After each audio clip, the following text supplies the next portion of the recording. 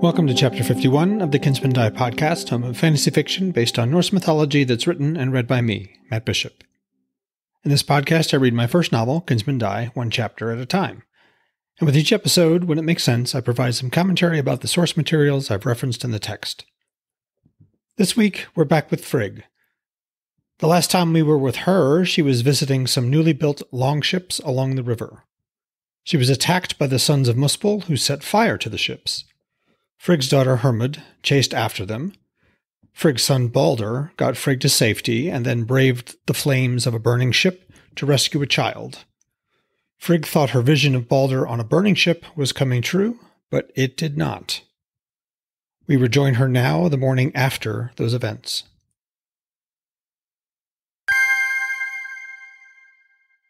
Chapter 51 Frigg. Har Frigg, Har Frigg, please wake up, it's your son. Frigg lurched forward, bedclothes falling away. Light from the thrall's witch lamp stabbed at her eyes. She blinked, thought scrambling like startled rats. It was Gunnar. A witch lamp blazed in her hand. Lady Nanna sent me, Hafrig. It's happening again. She can't get Jarl Baldr to wake up. Frigg surged out of bed. Odin, wake up! She kicked the bed frame even as she whirled her cloak around her shoulders. She bent and tugged on her boots. Odin was already awake, a knife bright in his hand. Get that light out of my eyes. His eyes narrowed like they did when he spoke with his familiars. What's wrong? Of course he'd be unruffled. And where'd the knife come from? Baldr needs us. Get moving.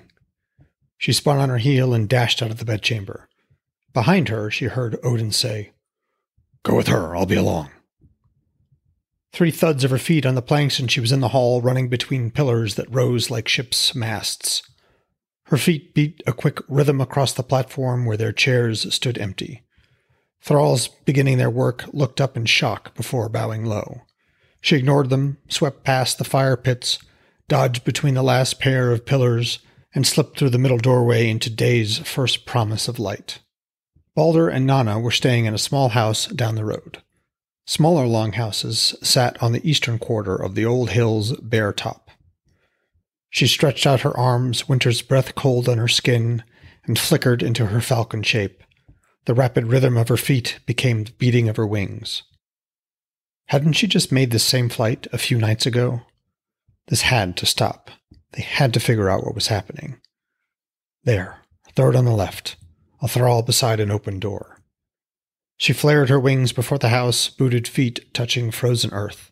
She set one hand on the low roof and turned back, looking for Odin.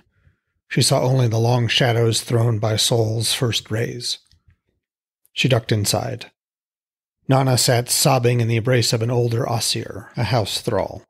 The woman looked up when she heard Frigg approach. Gray hair peeked out below her simple white cap.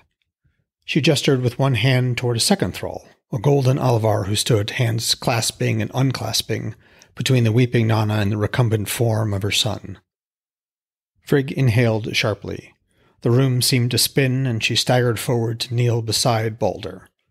His skin was white, his mouth sagged open, and his eyes stared sightlessly. Where is Eir? On her way as well, All Mother, Gunnar gasped from behind her. I sent Fulla to fetch her. Frigg reached out a hand, caressing his brow as she had when he was a boy. Cold as stone. Is any of that elixir here? Trembling, she laid her other hand on his chest and pressed it down, feeling for something. Anything. There. Yes. Just there, the slightest movement. The door banged open. Startled, she glanced over her shoulder. Odin stepped in, stooping to avoid the lintel. It's like he's dead, Odin, she said. Again. Was that her voice? So calm. And yet, what was that roaring in her ears, that pounding in her chest? She must push it away, push back from it, like standing in a skiff with one foot on the dock. Just push back and float. Let the current take her. Maybe the wind. And then drift. Get that cover off him, Frigg. Odin jabbed a finger at the Alvar. You there, Thrall, keep those doors open.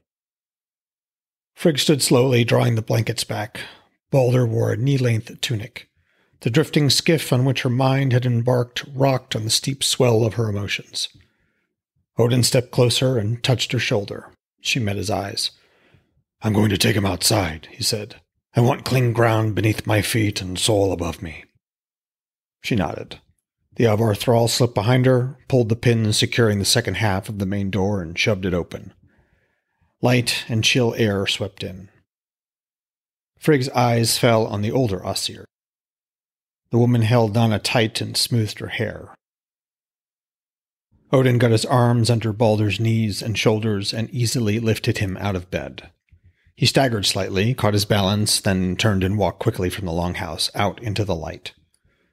Frigg hurried to a clear spot and spread the blanket. Odin knelt and eased Baldr's body down. He looked up at her. I can feel his heart, Frigg. It beats slowly, and it's fading. She knelt opposite Odin, their son's body like a corpse between them. Odin set one hand on Baldr's brow, with the other he reached out for hers. She gripped it like she might a rope thrown from shore, riding the growing waves, her little skiff tossed this way and that. Eir hadn't believed that Sol's light had anything to do with reviving Baldr. She'd said it was the elixir that had revived him. She looked up from her son's pale body. Odin's face, stony at the best of times, was like the ice covered cliff beneath Heimdall's tower. This dream, this nightmare of Baldr's, was even worse this time. Odin gave her hand a comforting squeeze, then dug in his satchel.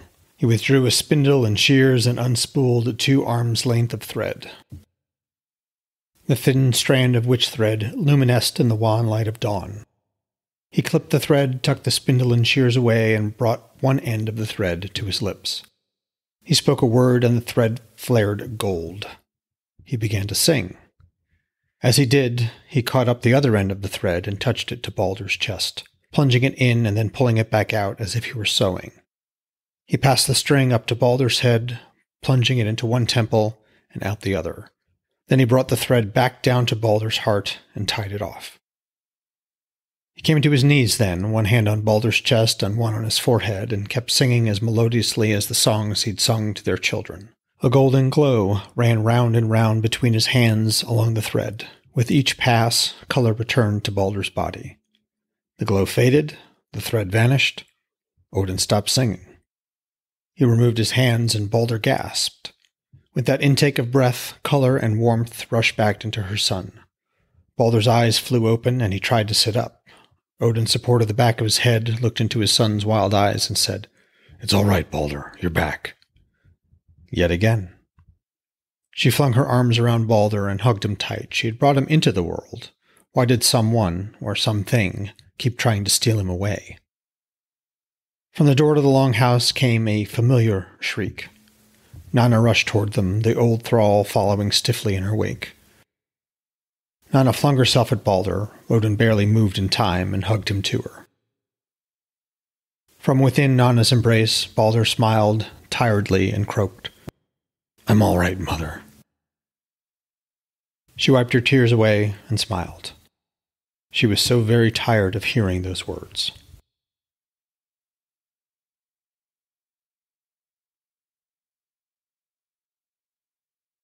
Frigg's eyes lingered on the thralls bustling in the middle section of the house, where it bulged like a long ship's waist.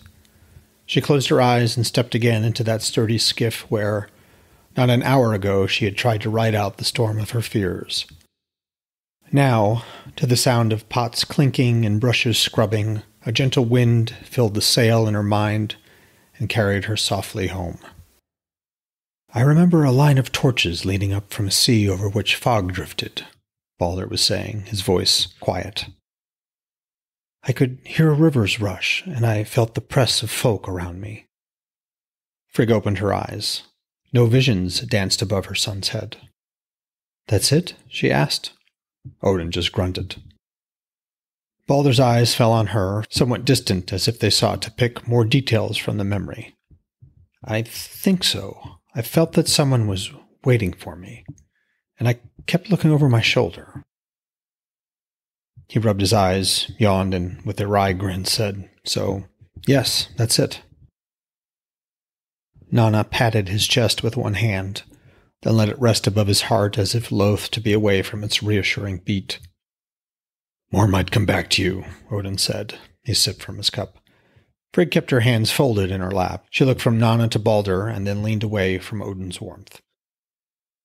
A draft from the open door snuck down the back of her dress, and she shivered. Did none of them want to ask the obvious question? Fine. What if this happens again tomorrow morning, and the morning after, and the morning after that? Concerned expressions met hers.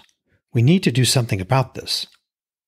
By we, you mean, of course, me, Odin said. He leaned forward and set his cup beside him. Of course I do. At Ithavoll, you said you'd look into it, and you've done nothing about it since. That was the day before yesterday, Frigg. We've been a bit busy since then, he said. He shifted on the bench to more directly face her. Let's ride down to speak with my uncle this morning. Now. She made no effort to hide the impatience in her voice. Baldr leaned in, the firelight gleaming in his eyes. I'd like to come with you. If not to speak with Mimir, then perhaps I could Talk to the Norns? Stay here, rest, and deal with whatever you need to on our behalf. I'm sure the envoy would prefer to deal with you and Nanna, Frigg added, particularly now that your father sent Thor to fulfill his threat. Can I call him back? Such provocation will make it harder to reach an agreement, Baldr said in a somewhat neutral tone. Perhaps it will make them more eager to deal with you than with me, Odin said. Before her husband could say anything more, she added, And you can discuss your plan to improve their roads and access to Ifington. Perhaps even more than that. A settlement outside Utgard itself.